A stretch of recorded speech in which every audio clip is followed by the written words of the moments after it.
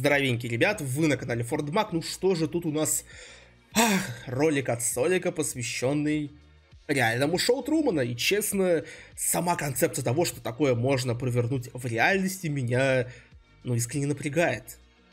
И насколько далеко готовы соз... э, пойти создатели для того, чтобы создать подобную атмосферу, того, что человек вообще не догадывается о том, что, что его жизнь это, по сути, телешоу, меня реально напрягает, очень напрягает, поэтому давайте уж посмотрим в итоге, что получилось, что же это за шоу такое Джош Мо. Поехали! Жил себе однажды человек по фамилии Труман, пока однажды он не узнал, что вся его жизнь не настоящая, а он всего лишь участник шоу. А теперь представьте, что такой же experience прочувствовал настоящий человек. Не так, конечно, радикально, как в фильме, но тем не менее он действительно какое-то время жил в доме, окруженный актерами, которые играли свои роли. Это уже будет третья история с похожей концепцией. Мы видели японское Ладно. шоу, британское шоу, а теперь посмотрим на американскую интерпретацию. Ибо нас ждет шоу Джош Мо. Но перед тем, как мы продолжим, я хочу вас поздравить с разгаданной загадкой. Вы смогли расшифровать двоичный код с прошлого видео и поняли, что я зашифровал Project EVA 2404, грядущее глобальное обновление в Lineage 2 S. Автору приятного аппетита, а мы продолжаем. Lineage 2 Essence, а я продолжу видео. Итак, какой же вопрос вас мучает больше всего? Что нахрен значит Джош Мо? Джош Мо это идиома в английском языке, которая означает, что человек ну просто нормис. Самый средний персонаж среди всех средних персонажей. И в этом как... А, просто я знаю, как это универсальное имя в Британии есть вот Джон Смит, типа максимально такой, знаете, максимально такое привычное имя, которое используется, например, при не, это, нахождение неопознанных тел и, или каких-то еще таких случаев, когда нужно как-то, знаете, назвать человека. Как раз таки вся мякотка. Вот вы, когда смотрите обычное реалити-шоу, вы же ведь никогда не ловили себя на мысли, что смотрите на конченых психопатов. И если вам так казалось, то вам не казалось. Так и есть. Драма, драки, мутюки и неожиданные сюжетные повороты – корень всех реалити-шоу. А такое могут себе позволить люди далеко не самые уравновешенные. Поэтому на кастинге именно таких выбирают. В нашем же случае все диаметрально противоположно. Создатели позвали в свое шоу самого нормального мужика во всей Америке. И наняли 9 актеров с безумными образами и ведущего, который тоже играл своего персонажа. И все они должны были бороться за 100 тысяч долларов. А участник выбывает каждый каждый день на общем голосовании. Но это только официальная версия. На самом деле все абсолютно все прописывалось сценаристами и продюсерами в течение года. От внутренних интриг между участниками до победителей внутренних конкурсов и уж тем более главного победителя. И это супер интересная динамика. Я, если честно, никогда не интересовался классическими реалити-шоу. Но если они были такими же, как вот тут показано, то как вы это нахер смотрите? Господи, что здесь происходит? Брайан, отстань, пожалуйста, Брайан. Смотрели. А в этом шоу есть двойное дно. Ибо сначала тебе показывают, как Мэтт реагирует на события и делится своими эмоциями. А потом тебе показывают, как продюсеры шоу с горящей жопой пытаются переписывать сценарий, ибо все пошло не по плану, и они пытаются все вернуть на прежнее русло. И актеры делятся своим уникальным опытом, ибо им надо быть в образе все время. И они волнуются куда Ух. больше, чем сам Мэтт. Ибо если они где-то оговорятся или затупят, то все все, пизда. Все может пойти на смарку. Так что за этим действительно увлекательно смотреть. Итак, с Мэттом мы уже знакомы. Он просто Мэтт. Он нормис, обычный чувак, который бросил юридическую школу, переехал к родителям, работает доставщиком пиццы, а в свободное время играет в баскетбол с друзьями. Обычный добродушный парень.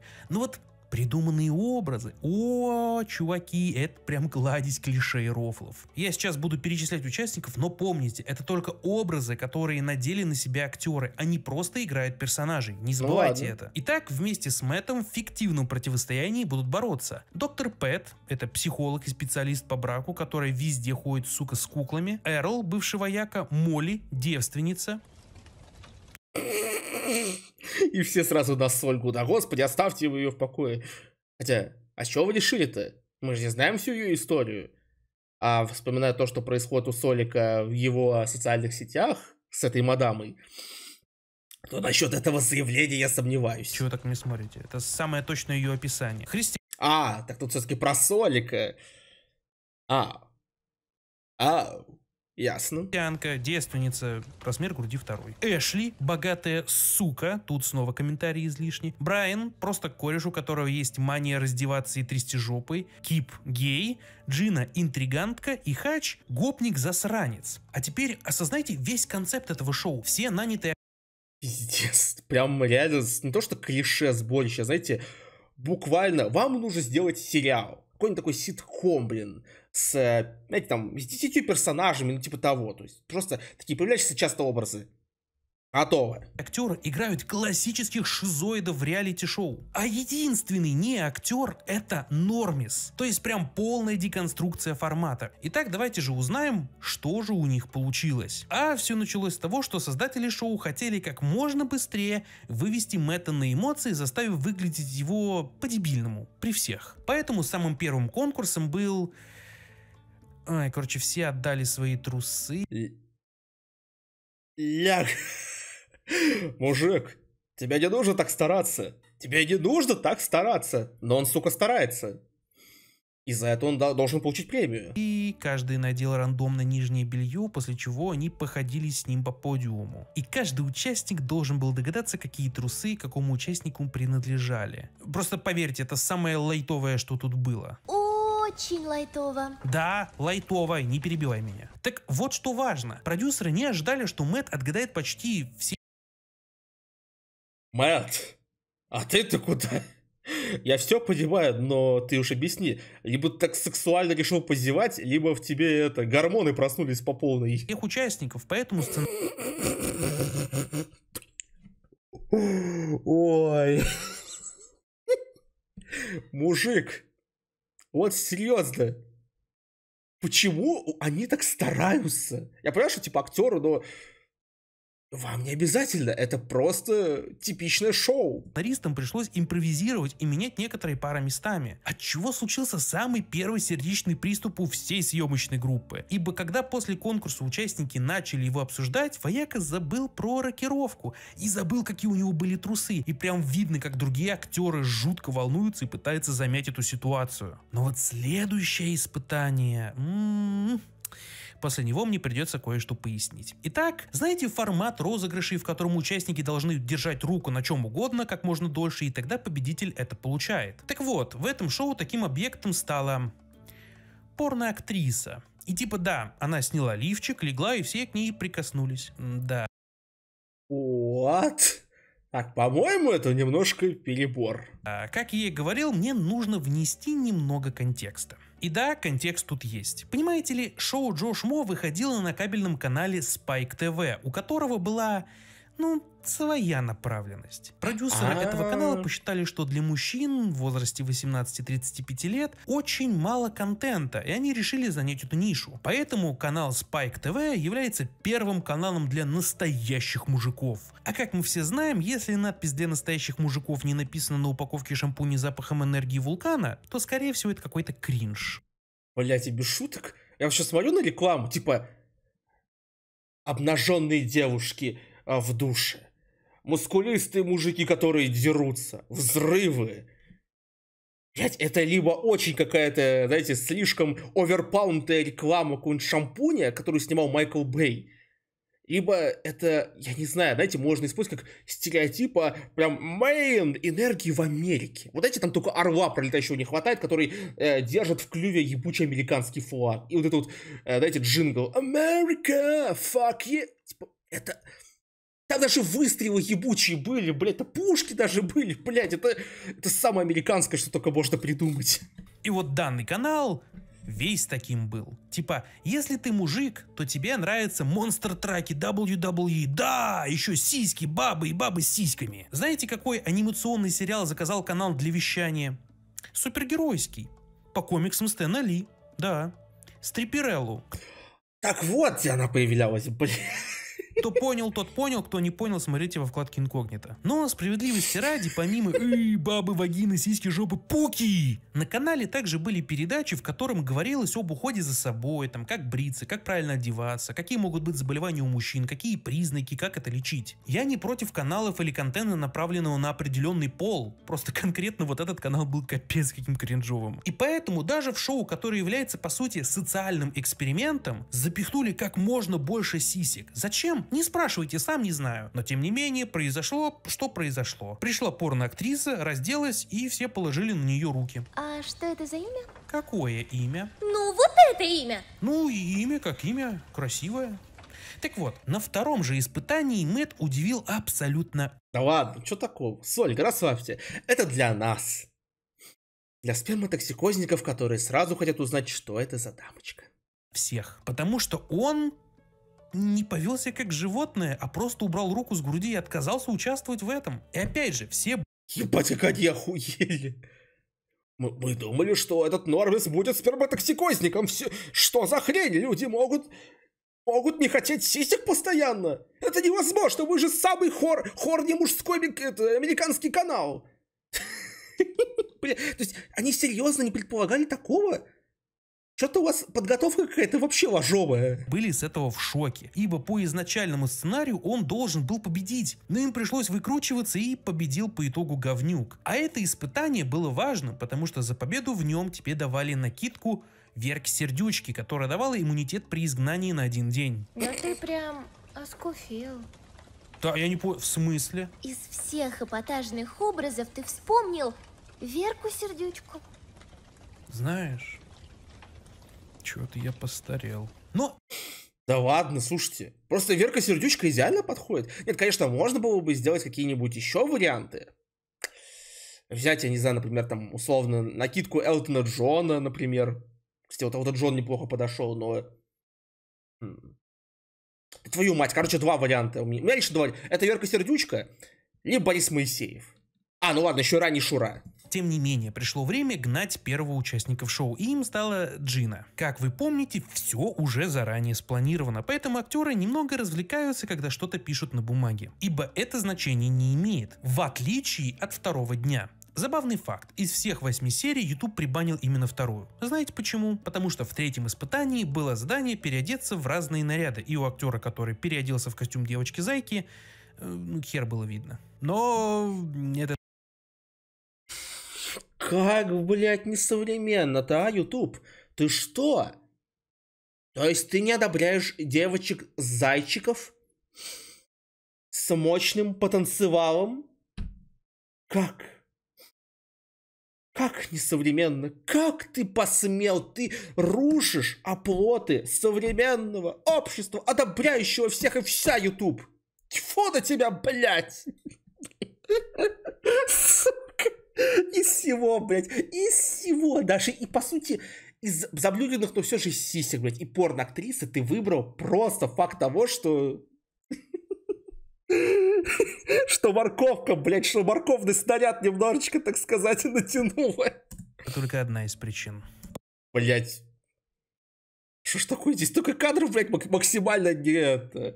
Либо для очень тупых мемов, либо некомфортных. Помимо кринжовых испытаний, в этом шоу есть вторая важная часть – внутренние интриги. Это реалити-шоу как-никак. Да, большая часть из них – это попытки создать альянсы, подговорить всех проголосовать против конкретного участника, обсуждение личной жизни, скукота. Но опять же, в шоу Джош Мо все они прописаны. И забавно наблюдать, как Мэтт отреагирует на потуги сценаристов и актеров. Типа у них было собрание, где каждый принести одну из вещей, которая напоминает ему о доме или важна конкретно для него. И Джина принесла доску с маркером, в которой она записывает свои мысли. И она в ту доску специально записала гадостей. И эту доску специально нашли. Позвали Мэтта, чтобы он на это посмотрел, он пришел, посмотрел и сказал, что не хочет в этом участвовать. Это же типа чтение личных записей. Вы чё, народ? И в этот момент все поняли, что они недооценили доброту этого парня. Ведь Я, блядь, все равно не понимаю, вы реально, блядь, не проработали дополнительные сценарии? Ну, сука. Ну, если у вас такое шоу, которое должно строиться на таких ситуациях, то может действительно хотя бы один альтернативный вариант, но стоит продумать, типа, Вы сами этого Нормис нашли. То есть, даже когда вы с ним разговаривали, когда проводили, я так понимаю, что вроде анализа, в котором, ну, было общение с ним наверняка, вы даже не подумали, что что-то может пойти... Ай. Скажу так, тот, кто готовил это шоу, либо он очень, очень наивный, либо слишком верил в себя. И в то, что Мэтт, ну, он точно, блядь, про, ну, он точно Нормис, которого легко можно обвести. Он, ну, такой пирожочек.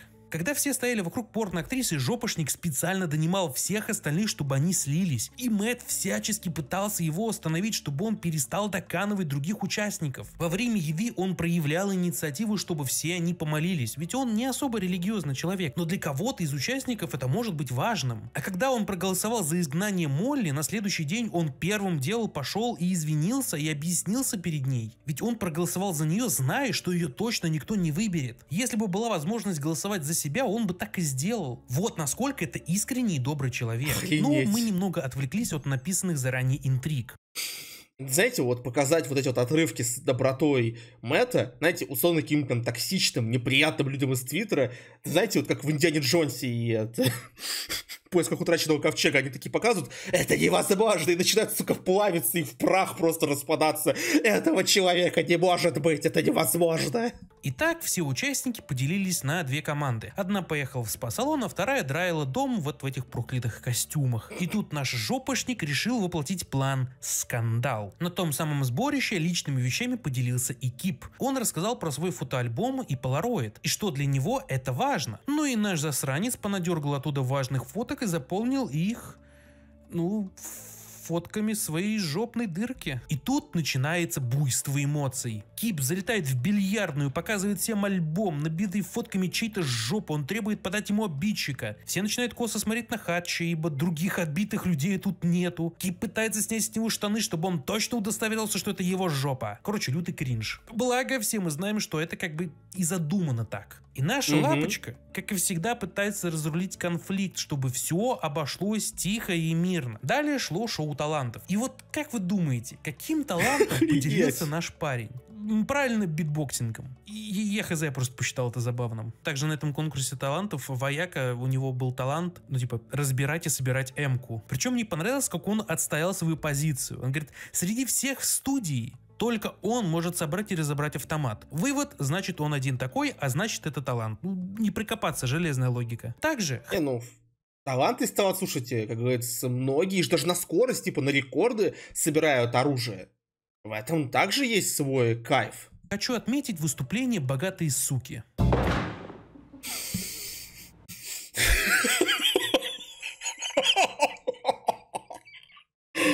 Как рыбкой пошла, как она ёбнулась. Ох, этот звук. Я знаю, что я раззвучу как садист, но, блядь. Ох, как говно на картонку.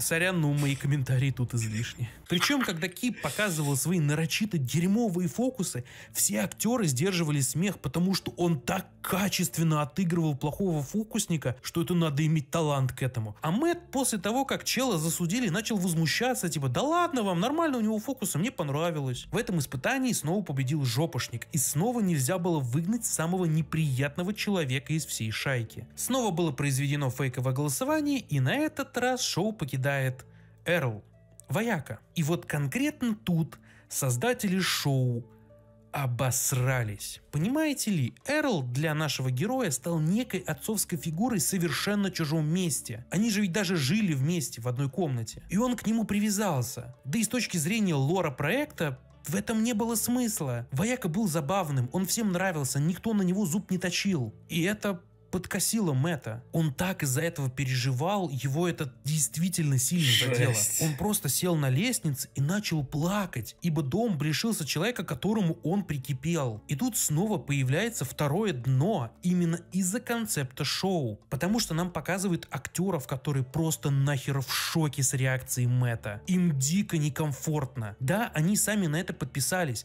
но то, что из-за их слов им придется смотреть за переживаниями живого человека, для них это реально было перебором. Ну не думаю, Типа, блядь. Никто такой... И вот опять же, что не, не было предусмотрено такое. Я знаю, что каждый вариант нельзя предусмотреть, но все-таки... Но здесь... Здесь это прям ну, нож в ебаное сердце.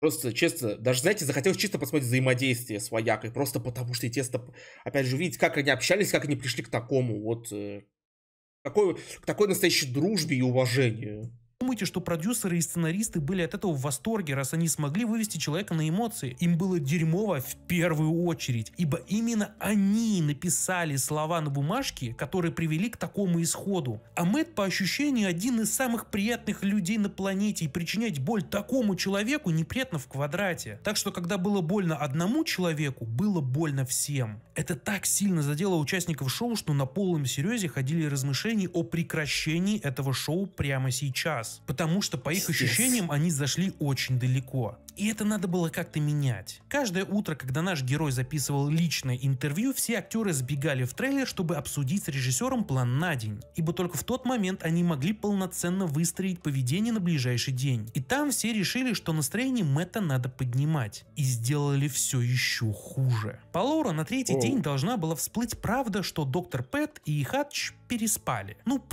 Oh. Просто интриги ради. Вот только Мэтт в какой-то степени уважал доктора Пэт. Она с ним проводила сеансы психотерапии, она говорила с ним о эмоциях и чувствах, и тут он узнает, что она легла под самого неприятного человека, которого он только не повезло видеть. Это его расстроило? Не фундаментально, но все-таки. И это все лишь сняло с ручника машину, стоявшую на горке. Следующим испытанием стало сумо в специальных костюмах. Мэтт вышел... Я правда, честно. Знаете, я частично теперь понимаю ребят, которые занимались этим шоу, то что такого прям, такого добряка, такого человека, ну, тяжело ожидать. И именно такой вот реакции.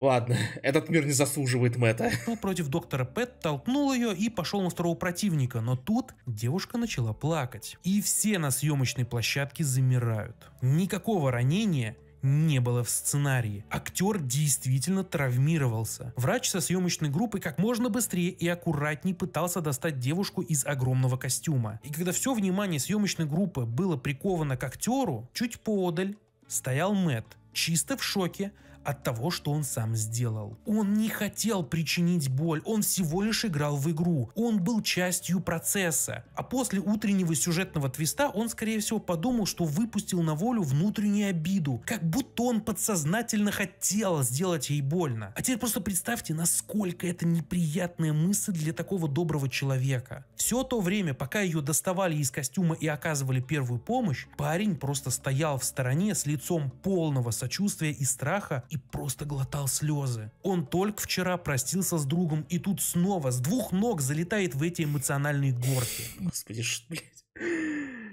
О, как же вы над ним... Э, не то, что издевались, а скорее... Просто, понимаете, мне уже искренне интересно, как они его доведут, если они, конечно, доведут его. Просто это, если действительно, с учетом того, что ты не знаешь, это реально очень мощная эмоциональная качель. Буквально. И хорошего друга в итоге это вывели из шоу. И тем более теперь такое разочарование от человека, с которым ты общался. Еще вот травму нанес. Благо, его быстро Пиздец. успокоили, и он смог даже выиграть в этом конкурсе. Благо, на этот раз у него была награда – неделю курорта на острове. Далее шел конкурс дебатов, где нужно было рассмешить оппонента. Один из участников решил пойти просто нахрен в банк потому что все опять шло не по сценарию. Так, Мэт, ну, хочешь вкусить хороших, как говорится, дынек, ты здесь не по адресу. Здесь, как говорится... Здесь я сомневаюсь... Это, конечно, если бы ушел бы, рейтинг больше, и, возможно, он транслировался бы на другом канале, то, может быть, я не знаю, но давай-ка ты пока не будешь на... так вот упорно. Сценарию. Но это не помогло. И И опять этот ебучий халат, господи. Мэтт с голым мужиком на спине смог вырвать себе победу. После чего встретился с доктор Пэт и очень долго перед ней извинялся. Но и это ему показалось мало, поэтому свой недельный курорт он отдал ей. Ну и чтобы как-то скрасить в глазах главного героя ситуацию, доктору Пэт предложили покинуть шоу с 25 тысячами долларов. Что она и сделала. И съемочная группа посчитала, что внутренний конфликт Мэтта они все-таки урегулировали. И, видимо, сценаристы очень сильно себя верили, потому что во второй половине шоу они решили очень резко поднять как ставки, э, так и уровень бреда. В следующем испытании им надо было облить друг друга медом, прыгнуть в бассейн с деньгами и собрать их себя в урну. У кого больше, тот и выиграл. Ну и тут как бы два забавных момента. Во-первых, Брайану замазали грудь, и да, Зачем? это странно, потому что, ну, он мужик, а замазали ли голую грудь А. Наверное, потому что она такая мясистая. А может, мы чего-то не знаем об этом товарище? Порноактрисе? Нет, не замазали, это вот, типа цензура это я сделал. А чего это решение кажется странным, типа в квадрате? Второй забавный момент это то, что ведущий по сюжету был очень недоволен своим костюмом. А может быть, потому что у кого-то из монтажеров случился очень неприятный момент? Он осознал то, что ему нравятся такие кадры, и он понял, нет, я не достоин, я должен замазать. И он замазал. Воз- Возможно, мы не знаем бэкстейджа, но мы должны узнать. И жаловался, что это низшая точка его карьеры. Но Мэтт даже Чё за нахуй тут происходит, господи?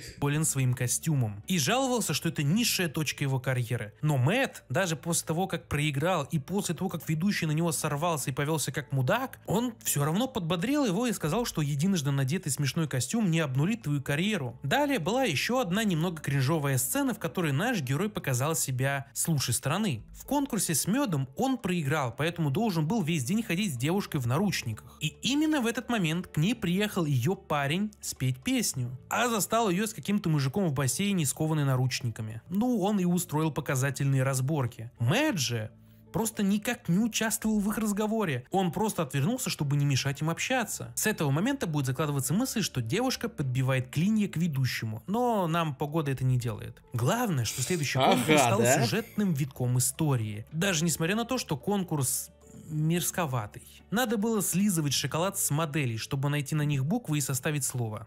Гос... Ладно, хорошо, это шоу, в принципе, оправдывает то, на что был рассчитан канал.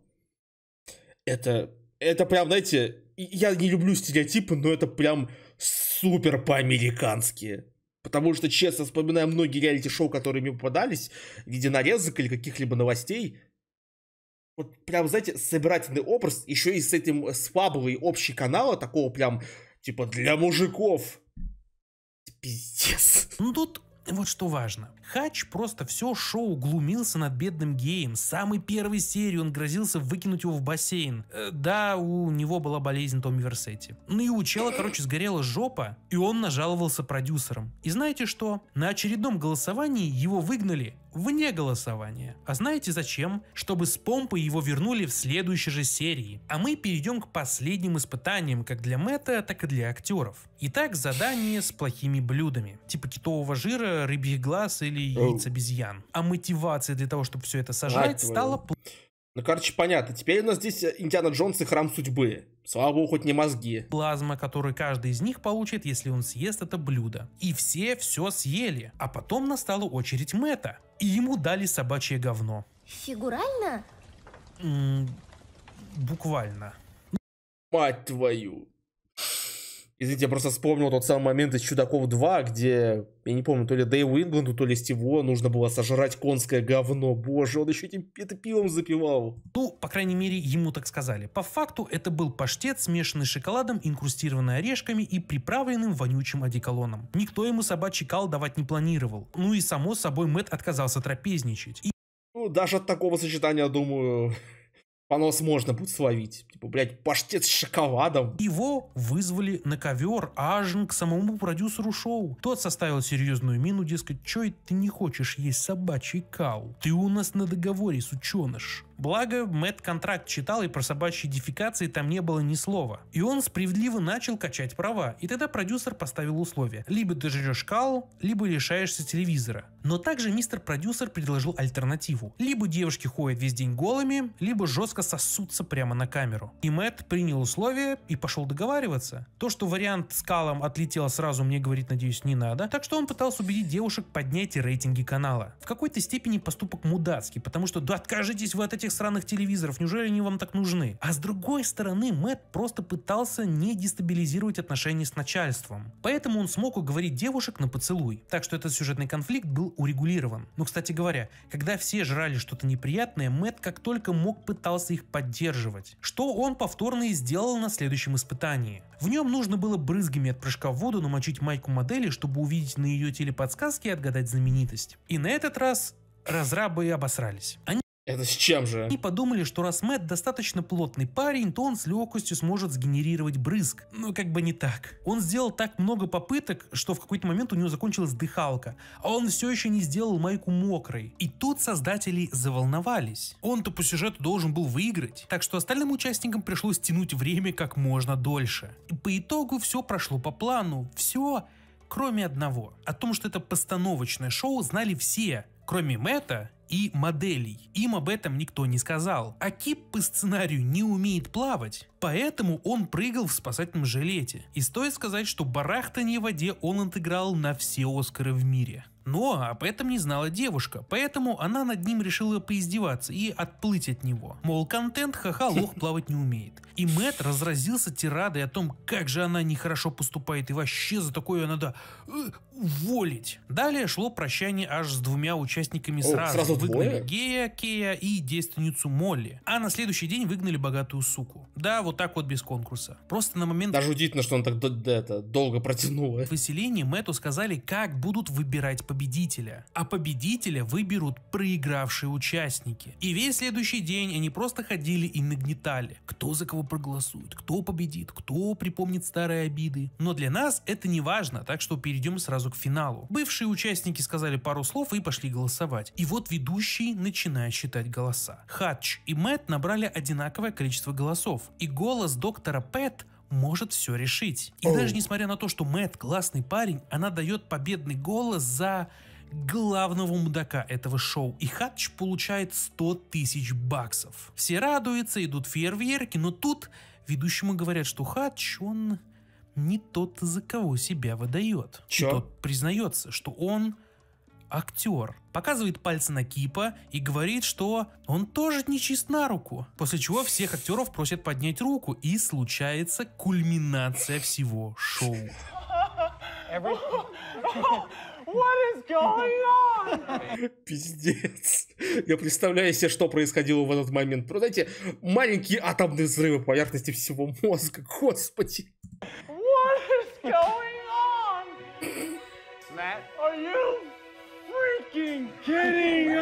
Ему говорят, что единственным настоящим человеком на всем шоу был он один. Настоящим человеком звучит так, как будто на самом деле все такие, знаете, мы лица срывают там рептилоиды, либо эти существа из чужие среди нас. Он заново знакомится с актерами, с которыми жил последнюю неделю. Он знакомится с продюсерами и сценаристами, которые прописывали ему историю. И он знакомится с тайной съемочной группой, которая следила за всеми его движениями по камерам и руководила микроклиматом в доме. После чего ему дали тот самый чек на 100 тысяч долларов, который он заслужил. Так эта история и закончилась. Охренеть. Мне не нравится твое молчание. На что не так? Но тут явно есть какой-то подвох. Точно есть. Как-то правда слишком хорошо кончилось. Нет, в самом шоу подвохов-то ну, нет, как бы. А, ну тогда ладно. А вот в том, что было после. Да твою мать! Почему все истории не могут просто хорошо закончиться? Потому что это не фанфик по My Little Pony. Ну, Мэтт справедливо подумал, что если жизнь дает тебе лимоны, то нужно делать лимонад. Он поговорил с несколькими продюсерами и решил построить свою карьеру в шоу-бизнесе. И этого у него не получилось, потому что это шоу ему больше навредило, чем помогло. По его собственным словам, у него был печальный период в жизни, и ему нужны были деньги и новые эмоции. Вот он и согласился на это шоу. Но после его окончания он почувствовал себя клоуном. Ему многие говорили, что постановка была, ну, очевидна, и он, дурак, такой не заметил этого. И Ну, скажу так, у всех восприятие разное. Это как люди, которые бывают, типа, что есть какой-то намек, но намека в итоге никакого нет. А просто, типа, ты должен был мысли прочитать. Или он, например, как вы, блядь, вот честно, да, здесь стереотипы, здесь образы. Но при всем при этом кто-то этого может не прочитать просто потому, что он, например, видел такие образы в жизни и думает, что так-то это так должно быть, это нормально. Так что я не понимаю таких претензий.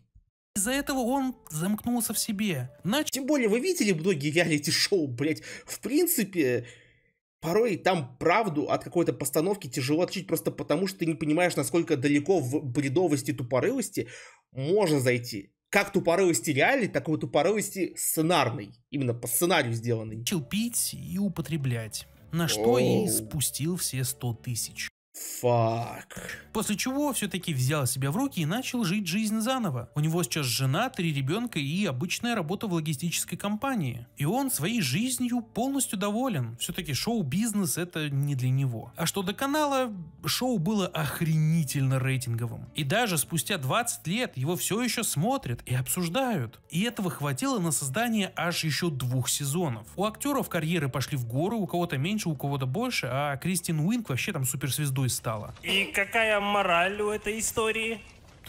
Прости, Скульфик, ты так редко разговариваешь, что я уже и забыл, что ты это умеешь. А в чем мораль?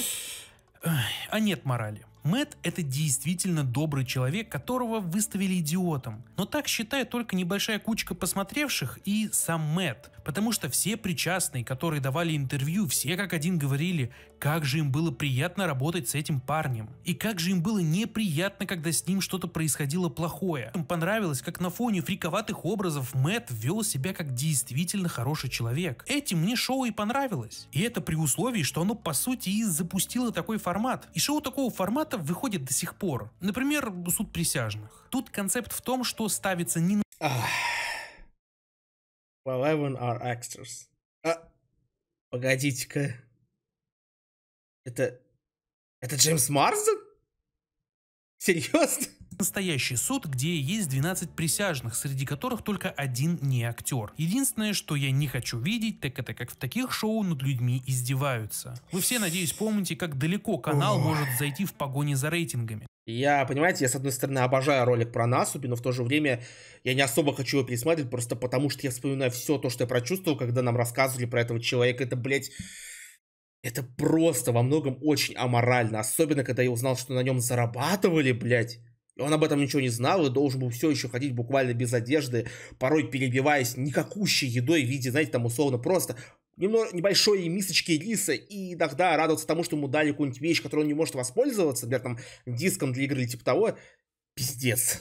Но я и не против хороших таких рофлов, если люди, конечно, умеют их делать. Это тонкая грань, на которой сложно балансировать. Что могу сказать, ребята? Вот такой вот ролик Эх, от Солика. И честно, то, куда это зашло, меня, ну, не то что неприятно, а скорее так немножко покоробило. Я правда не ожидал, что все будет настолько бредово. Но что-то в этом есть. Абсурдное, в некоторых моментах неприятное, даже порой мудацкое, но интересная концепция, которую, в принципе, можно и дальше развивать. Реально. Кстати, интересно, что сейчас с каналом вообще жив. Хочется подробнее узнать, что там еще такого было, чтобы покринжевать. Но сама эта история... Мать твою за ногу, то, что это происходит в реальном мире, мне, знаете, порой кажется, что все-таки где-то оно есть открывшаяся червоточина, которая просачивает нам, знаете, какую-то мультивселенную бреда. Хотя, возможно, мы просто этот бред не показываем, и когда мы видим подобные случаи, просто удивляемся тому, на что способен порой человеческий ум, и порой удивляемся тому, насколько многие люди добры, находясь в таких мудацких и довольно тупорылых ситуациях.